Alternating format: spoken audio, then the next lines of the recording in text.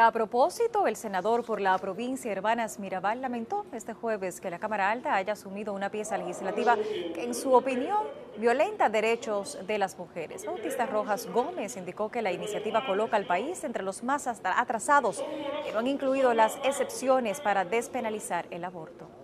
Nosotros esperamos que durante este año que se le ha dado al código para su revisión, pues nosotros logremos que realmente se respete la dignidad de la mujer con un código eh, apropiado. Rojas Gómez señaló que la violencia machista aumentó en el país producto de la pandemia.